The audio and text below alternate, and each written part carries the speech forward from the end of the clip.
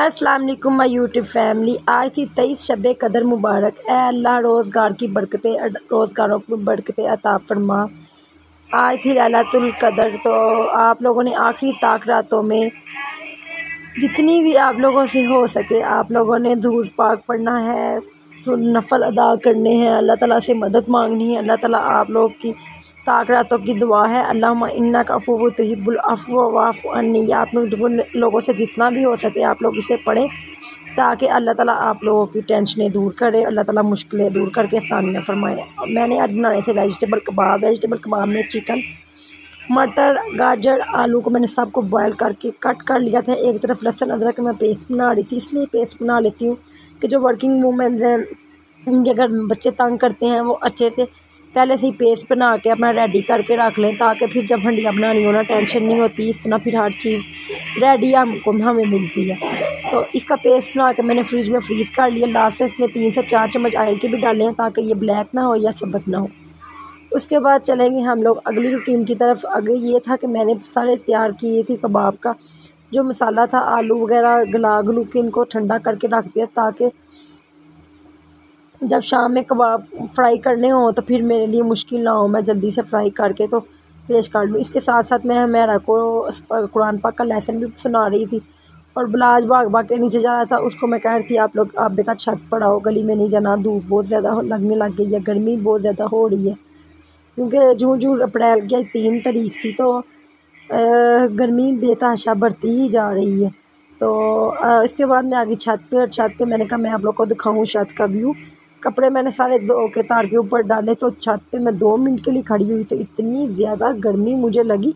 उफ, तोबा, मैं फटाफट बाग के नीचे आ गई। मैंने कहा, रोज़ा रखा हुआ है तो मेरा तो रोज़े से बूढ़ा हाल हो रहा है। तो बच्चे गली में खेल रहे थे, चहल रहे थे चहल कदमी कर रहे थे। उसके बाद मैं आई हूँ नीचे, आके मैंने फिर नमाज़ अदा की, क्योंकि नमाज़ तो बेहद ज़रूरी है। नमाज़ दीन का स्तून है। अगर आपने रोज़ा रखा है और नमाज़ नहीं पढ़ रहे तो फिर तो आपका जो रोज़ा है वो बिल्कुल फालतू है। नमाज़ पढ़ने के दौरान ही बलाज ने फिर अपना निया कारनामा दिखाया। आपने इतना, इसने आटा जो था वो आटे वाली बाल्टी के अंदर से निकाल के उसमें आधा नहाया और आधा ज़मीन पे फेंका, जो इसके कारनामे है। क्या मैं करूँ अब? मेरा बच्चा इस ना को नाटी या क्रोस को ना कोई काम पिखाए के मेरे लिए रखता है।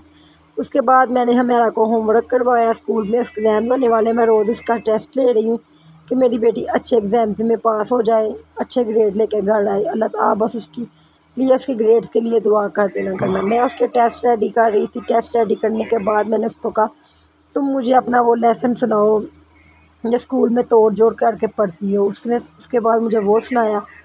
उससे पहले फिर मैंने अपना कुरान पाक पढ़ा और मेरी कोशिश है कि मैं सताईसवें रमज़ान तक अपना कुरान पाक कंप्लीट कर लूँ। तो अल्लाह ताला हमारे को सारी गलतियाँ कोताहियाँ दूर करे। अल्लाह ताला हमारे सारे गुनाह माफ़ फरमाए।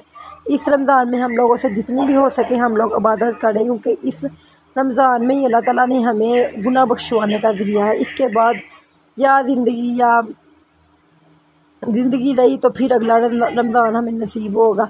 तो जितना भी हो सके हम लोग इस रमज़ान में अपने गुनाह बख्शवा लें ताकि अल्लाह ताला हमारा ना ना माए माल हमारे दाएँ हाथ में दे और हमें जन्नत में जगह अता फरमाए। आमीन सुमामीन बस यही था आज का व्लॉग। इसके बाद हमारी अफसारी टेबल लग गई थी और यहाँ हम खोलने लगे थे रोज़ा। रोज़ा खोल के आपको पता आपकी बहन की एनर्जी हो जाती है डोन मैंने पिया अपना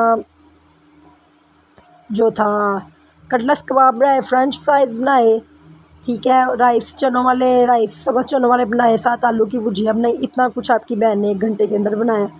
उसके बाद मेरा रोज़ा खोलने के बाद एनर्जी हो गई थी तो मैंने अपना एनर्जी ड्रिंक पिया। एनर्जी ड्रिंक पी के मैंने नमाज़ पढ़ी, तरावियाँ पढ़ी तो मैं अब वो इंजॉय करूँगी इसके साथ ही अपनी बहन को दो इजाज़त। दुआओं में आप याद रखना, क्योंकि जो दुआएँ होती हैं, वो सबसे कीमती और अनमोल खजाना होती हैं किसी को देने के लिए। जब आप किसी को पैसे नहीं दे सकते, किसी को दौलत नहीं दे सकते, किसी को मशरा नहीं अच्छा दे सकते तो आप दुआ ही अच्छी दे लें, अल्लाह ताला उससे ही अगले का बेड़ा पार कर दें। इसके साथ ही अपनी बहन को दो इजाज़त। अल्लाह हाफिज़। टेक केयर फ़ी अमान